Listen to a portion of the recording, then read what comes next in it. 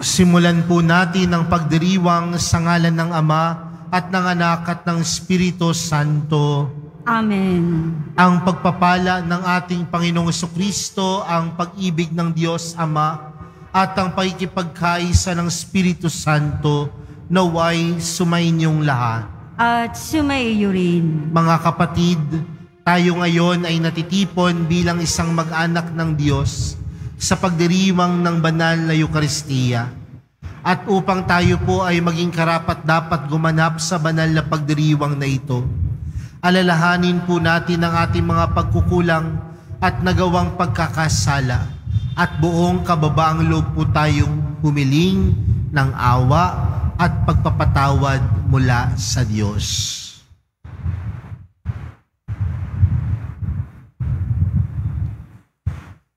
Sinugong tagapagpagaling sa mga nagsisisi, Panginoon, kaawaan mo kami. Panginoon, kaawaan mo kami. Dumating na tagapag-anyayang mga makasalanan ay magsisi, Kristo, kaawaan mo kami. Kristo, kaawaan mo kami. Nakaluklok ka sa kanan ng Diyos Ama para ipamagitan kami. Panginoon, kaawaan mo kami. Panginoon, kaawaan mo kami. Kaawaan tayo ng makapangyarihang Diyos. Patawarin tayo sa ating mga kasalanan at patnubayan tayo sa buhay na walang hanggan. Amen. Manalangin tayo. Ama naming makapangyarihan, ang iyong pinakadakilang magagawa ay magpatawad at ang iyong laging ipinakikita ay pagkahabag. Padaluin mo sa aming walang humpay ang kagandahang loob mong sa aming nilaan upang sa pagkakamit namin sa pangako mong bigay, kami gawin mong kasalo sa ipagkaloob mo sa kalangitan. Sa pamagitan ni Yesu Kristo, kasama ng Espiritu Santo, magpa sa walang hanggan. Amen. Magsipo muna po ang lahat. Pagbasa mula sa aklat ni Propeta Zacarias. Ito ang ipinasasabi ng Panginoon. Darating sa Jerusalem ang mga taga-iba't ibang bayan. Sila'y magyayayaan. Tayo na sa Panginoon. Hanapin natin siya at mamanhik tayo sa Kanya ako man ay pupunta roon. Maraming tao at bansang makapangyarihan ang pupunta sa Jerusalem upang dumulog sa Panginoon. Sa araw na yaon, sampu-sampung dayuhan ang mangungunyapit sa bawat Hudyo at makikiusap na isama sila dahil sa balitang ang mga Hudyo ay pinapatnubayan ng Diyos. Ang salita ng Diyos. Salamat sa Diyos. Ang ating Panginoong Diyos ay kapiling nating lubos. Ang ating Panginoong Diyos ay kapiling nating lubos. Sa bundok ng Siyon, Itinayo ng Diyos ang banal na lunsod. Ang lunsod na ito'y higit niyang mahal sa alinmang bayan ng angkan ni Jacob. Kaya't iyong dinggin ang ulat sa iyong mabubuting bagay o lunsod ng Diyos. Ang ating Panginoong Diyos ay kapiling nating lubos. Pag itinala ko yaong mga bansang sa iyo'y sasama, aking ibibilang ang bansang Ehipto at ang Babylonia. Ibibilang ko rin yaong Pilistia, Tiro at Ethiopia. At tungkol sa Sion, yaong sasabihi, ang lahat ng bansa ay masasakupan, siya'y palalakasin, at patatatagin ng kataas-taasan. Ang ating Panginoong Diyos ay kapiling nating lubos. Ang poon ay gagawa ng isang talaan ng lahat ng taong dooy mamamayan. Ang lahat ng ito ay magsisiawit at pawang sasayaw. Ang ating Panginoong Diyos ay kapiling nating lubos. Magsitayo po ang lahat.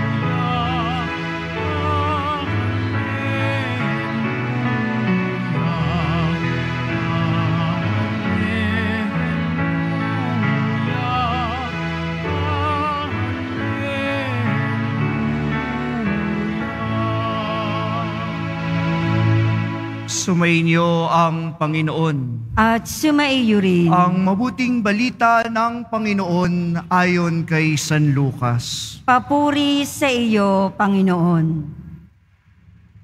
Nang nalalapit na ang panahong iaakyat si Jesus sa langit, ipinasya niyang pumunta sa Jerusalem. Sinugo niya ang ilan upang mauna sa kanya. Pumayo sila at pumasok sa isang nayon sa Samaria upang ipaghanda siya ng matutuluyan. Ngunit ayaw siyang tanggapin ng mga Samaritano sapagkat siya'y patungo sa Jerusalem.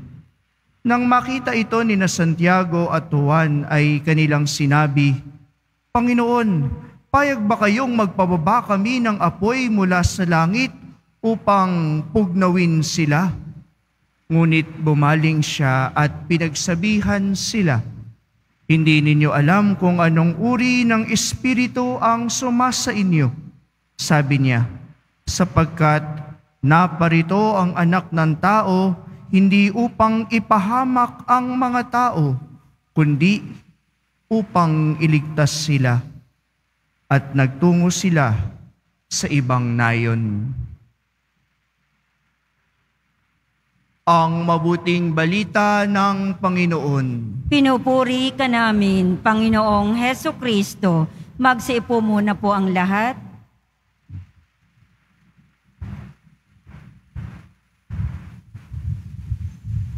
Magandang umaga po sa inyong lahat. Isa pong karanasan natin bilang mga mananampalataya dito po sa ating bansa ay malaya tayong ipahayag yung ating buhay na pananampalataya.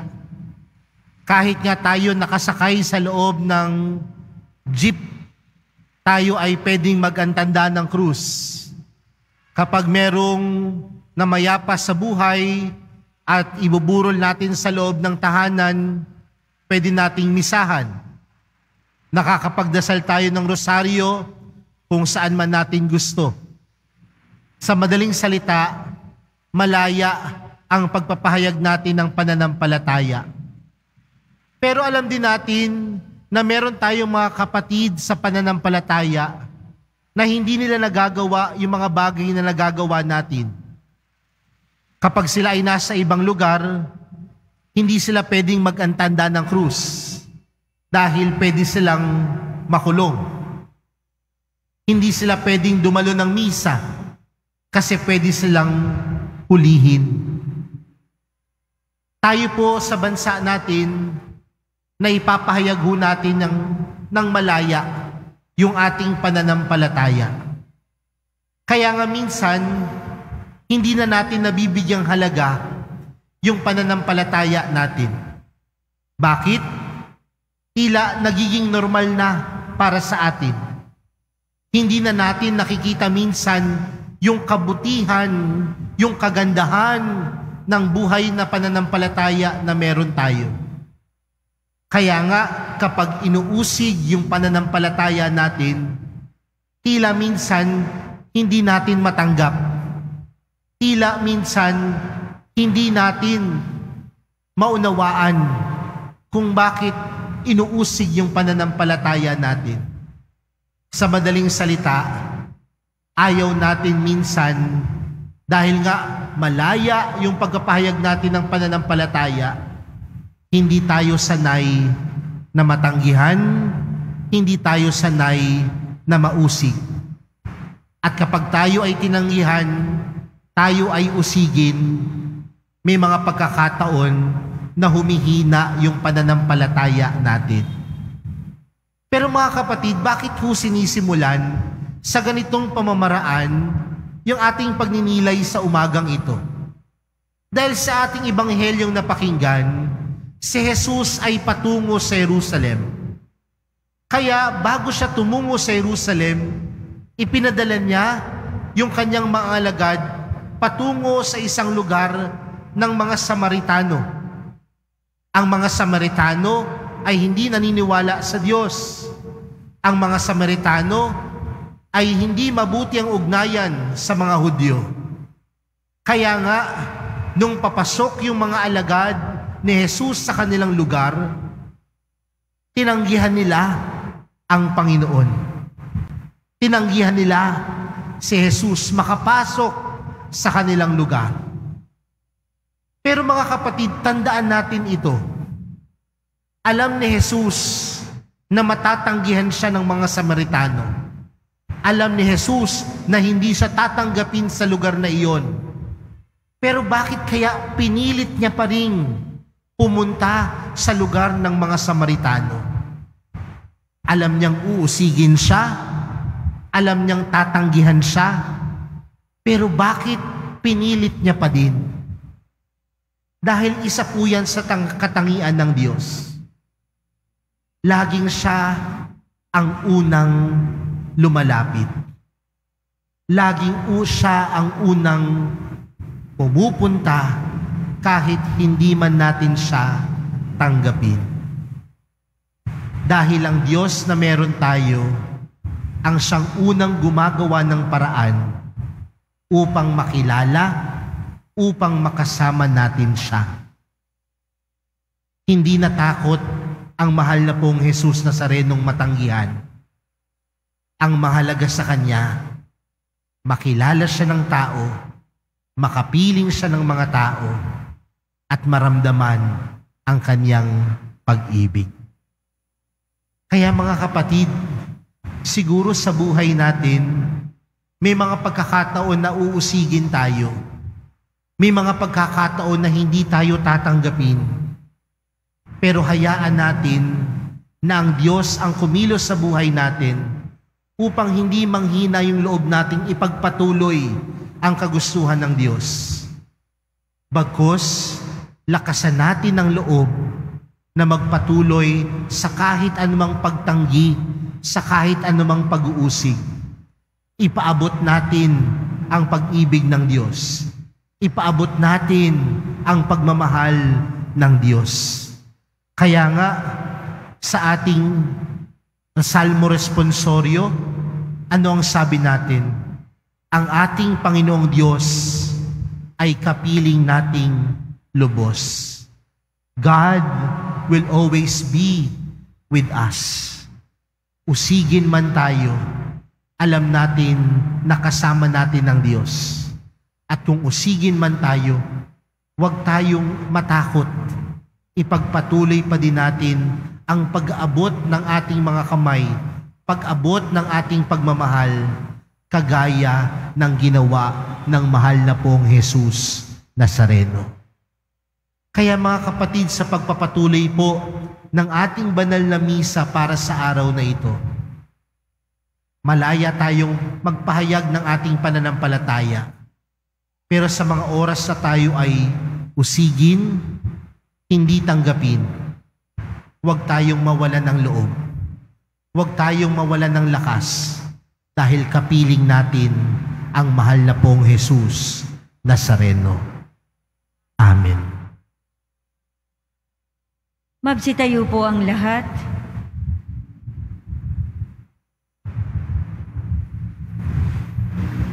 Minamahal kong mga kapatid, mapagpaumanhin ng Diyos at alam niya ang ating mga pagdurusa.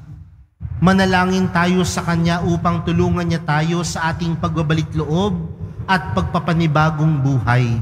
Ang ating panalangin, Ama, umunlad nawa kami sa pagiging kawangis ng iyong anak. Ama, umunlad nawa kami sa pagiging kawangis ng iyong anak. Ang Kristiyanong sumasampalataya, naway pakinggan ang panawagan ng Diyos sa pananalig at pagsisisi. Manalangin tayo. Ama, umunlad umunlad, nawa kami sa pagiging kawangis ng iyong anak. Tayo naway bigyan ng Diyos ng katapangan upang italaga natin ang ating sarili na maging malaya kay Kristo, ang mga nakapiit sa kanilang pagkamakasarili. Manalangin tayo. Ama, umunlad nawa kami sa pagiging kawangis ng iyong anak. ang mga may pusong hungkag at nanlalamig, naway matagpuan ang kaligayahan sa pamamagitan ng pag-ibig sa Diyos at sa kapwa. Manalangin tayo. Ama, umunlad nawa kami sa pagiging kawangis ng iyong anak. Ang mga may sakit sa isip at katawan, naway magkaroon ng ganap na kagalingan. Manalangin tayo. Ama, umunlad nawa kami sa pagiging kawangis ng iyong anak. ang mga tapat na yumao, naway masiyahan sa liwanag ng bukang liwayway ng buhay na walang hanggan. Manalangin tayo. Ama, umunlad nawa kami sa pagiging kawangis ng iyong anak. Panginoong mahabagin at mapagmahal, pakinggan mo ang mga hinaing ng mundong nakakulong sa pagdurusa at kasalanan. Sa pamagitan ng iyong anak na puspos ng kagandahang loob, hinihingi namin sa iyo ang biyaya upang makasunod kami sa Kanya palagi. Hinihiling namin ito sa pamagitan ni Kristong aming Panginoon. Amen. Magsipo muna po ang lahat. Anak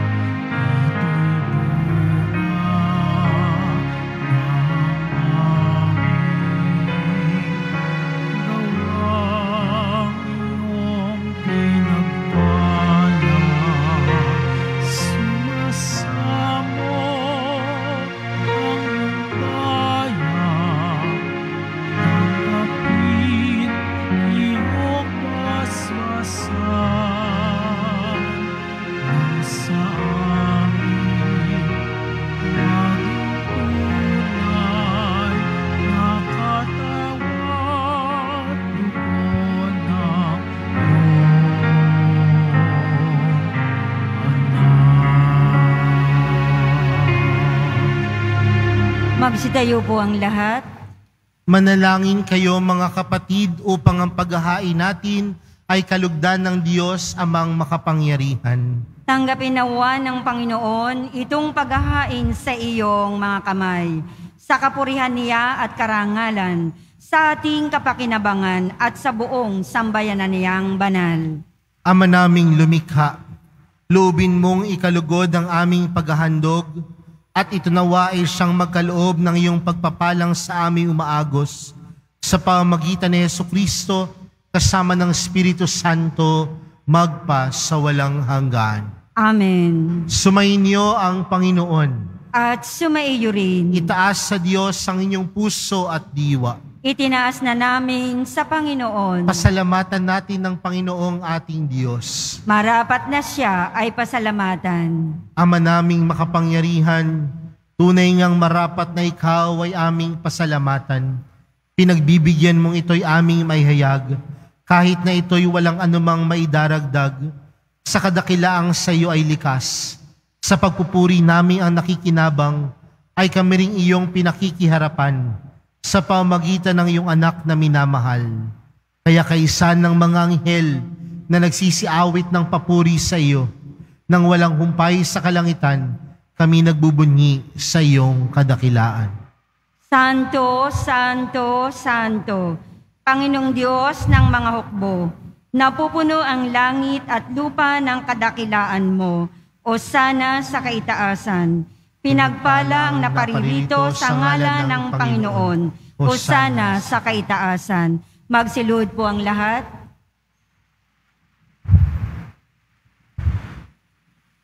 Ama naming banal, ikaw ang bukal ng tanang kabanalan. Kaya't sa pamagitan ng iyong Espiritu, gawin mong banal ang kaloob na ito upang para sa aming maging katawan at dugo ng aming Panginoong Heso Kristo. Bago niya pinagtiis ang kusang loob na maging handog, hinawakan niya ang tinapay, pinasalamatan kanya, pinaghati-hati niya iyon, iniabot sa kanyang mga alagad at sinabi, Tanggapin ninyong lahat ito at kanin. Ito ang aking katawan na ihahandog para sa inyo.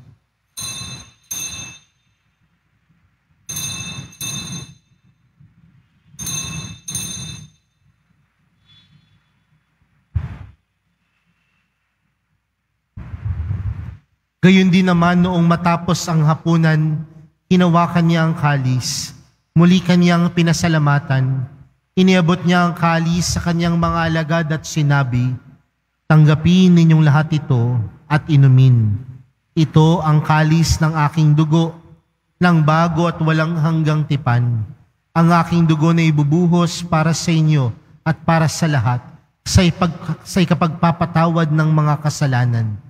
Gawin niyo ito sa pag-alala sa akin.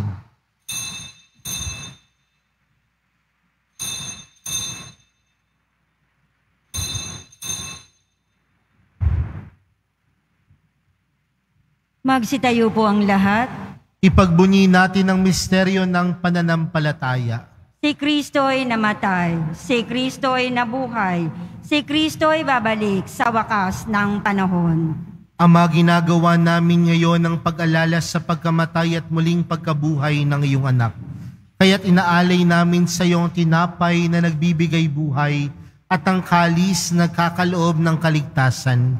Kami nagpapasalamat dahil kami iyong minarapat na tumayo sa harap mo para maglingkod sa iyo.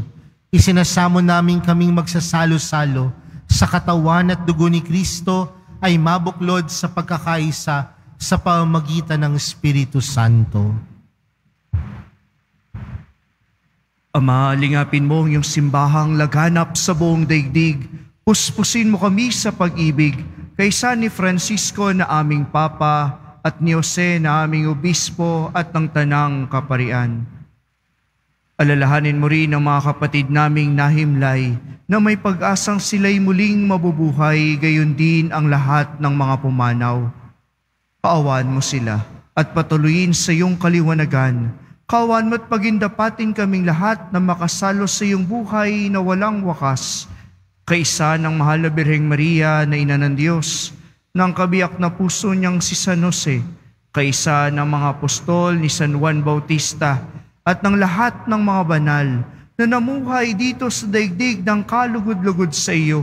May pagdiwang nawa namin ng pagpupuri sa ikararangal mo sa pamamagitan ng iyong anak na aming Panginoong Heso Kristo.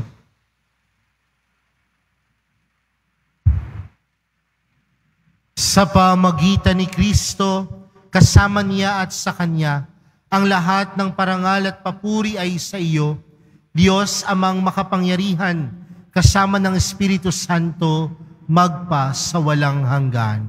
Amen. Lumapit po tayo sa Ama natin sa langit, sa panalangin itinuro sa atin ni Jesus. Ama namin, sumasalangit ka, sambahin ang ngalan mo, mapasa amin ang kaharian mo, sundin ang loob mo, dito sa lupa para ng sa langit. Bigyan mo kami ngayon ng aming kakanin sa araw-araw at patawarin mo kami sa aming mga sala para ng pagpapatawad namin sa nagkakasala sa amin. At huwag mo kami ipaintulot sa tukso at iadya mo kami sa lahat ng masama. Hinihiling po namin kami adya sa lahat ng masama, pagkalooban ng kapayapaan araw-araw, iligtas sa kasalanan at ilayo sa lahat ng kapahamakan, samantalang aming pinananabikan ang dakilang araw ng pagkapahayag ng tagapagligtas naming si Yeso Kristo.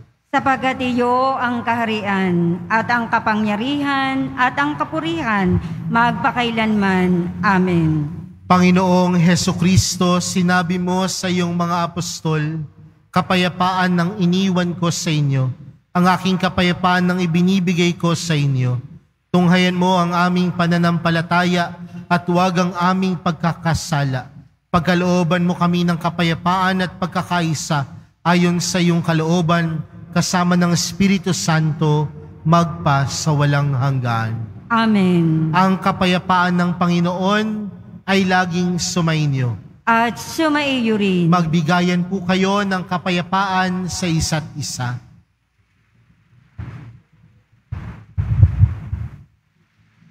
Kordero ng Diyos na nag-aalis ng mga kasalanan ng sanlibutan, maawa ka sa amin.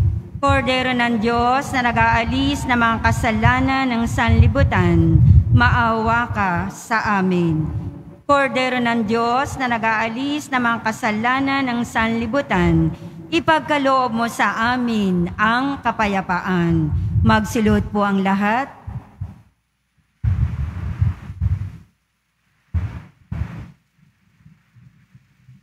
Narito po si Jesus, ang kordero ng Diyos. Siyang nag-aalis ng kasalanan ng sanlibutan, mapalad ang mga inaanyayahan sa kanyang piging. Panginoon, hindi Hindi ako karapat-dapat na magpatuloy sa iyo, Ngunit sa sa isang isang salita mo lamang ay gagaling na ako.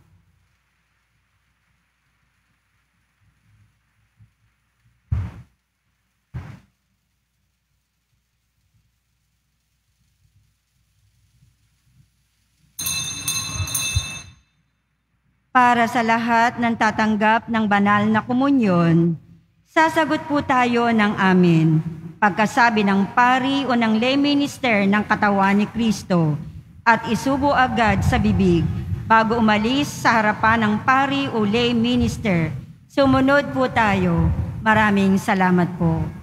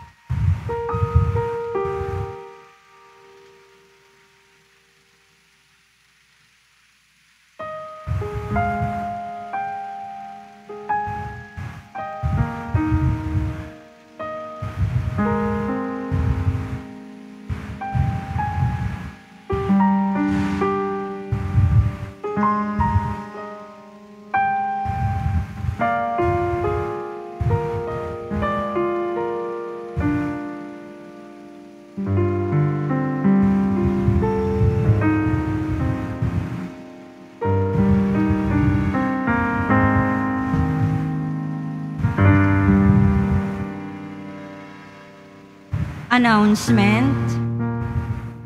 Ang lahat po ay inaanyayahan lalo na ang mga may sakit o may karamdaman sa ating healing mass and service sa darating na October 5, Huwebes, sa ganap na ika-anim ng gabi.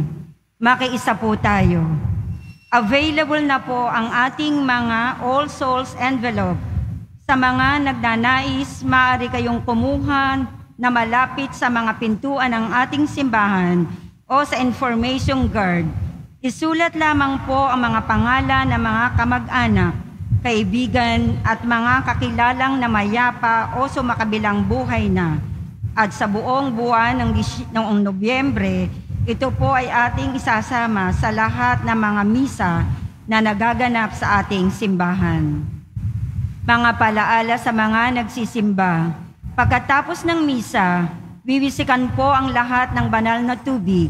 Pinakikiusapan ng lahat na manatili lamang muna sa inyong mga lugar.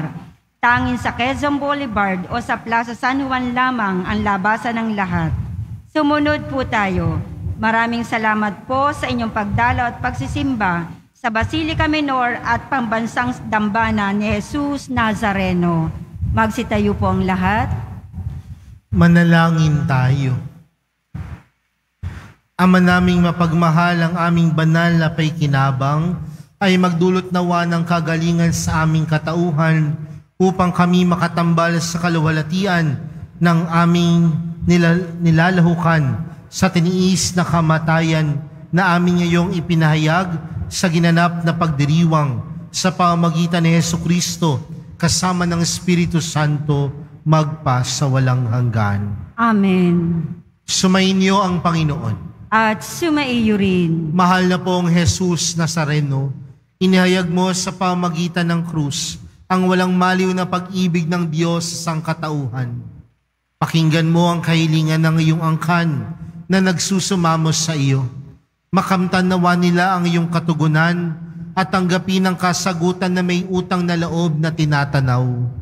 Basbasan din po ninyo ang mga daladala nilang mga imahen at dasalan sa pamagitan ng bendisyon na ito, naway maalala nila ang mga pangako nila noon sa binyag, na ikaw ang kanilang ibigin at paglilingkuran bilang Panginoon, magpa sa walang hanggan.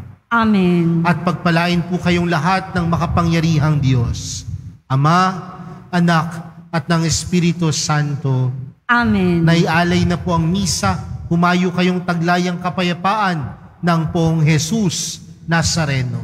Salamat sa Diyos.